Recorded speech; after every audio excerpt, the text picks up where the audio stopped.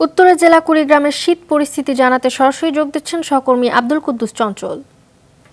চঞ্চল, শীতে হাসপাতালগুলোতে রোগী ভর্তি এবং চিকিৎসা সম্পর্কে জানাবেন আমাদের।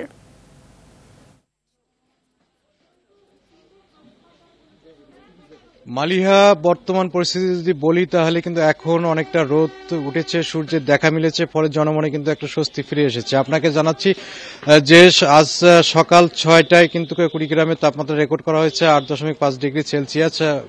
গত পাঁচ দিন থেকে কিন্তু এই জেলার উপর দিয়ে শৈত্য প্রবাহ প্রবাহিত হচ্ছে। এছাড়াও কিন্তু প্রায় বিশ দিন থেকে কিন্তু ঘন কুয়াশার চাদরে কিন্তু ঢাকা পড়ে কুড়িগ্রাম এবং সেটি কিন্তু বেলা এগারোটা পর্যন্ত চলমান থাকে। ফলে কিন্তু এখানকার যে মানুষ রয়েছে তারা কিন্তু শীতে দুর্বিষহ জীবনযাপন করছে। এক প্রকার এখানকার যে মানুষের জীবন কিন্তু বিপর্যয়ে নেমে এসেছে। আপনাকে জানিয়ে রাখছি যে শীতজনিত রোগে কিন্তু মানুষ আক্রান্ত হচ্ছে, বিশেষ করে বৃদ্ধ এবং শিশুরা কিন্তু আক্রান্ত হয়ে হাসপাতালে ভর্তি হচ্ছে না আমরা বিভিন্ন হাসপাতালে খোঁজখবর নিয়ে দেখেছি যে শীতজনিত রোগ, বিশেষ করে জ্বর সর্দি, কাশি, নিউমোনিয়া, ডায়রিয়া সহ ভর্তি রয়েছে অনেক শিশু এবং বৃদ্ধ।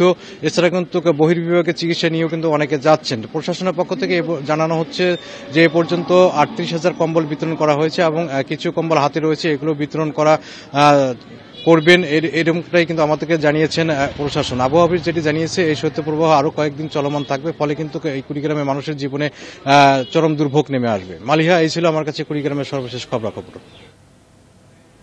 ধন্যবাদ। এতক্ষণ কুড়িগ্রাম থেকে জানাচ্ছিলেন আব্দুল কুদ্দুস চঞ্চল।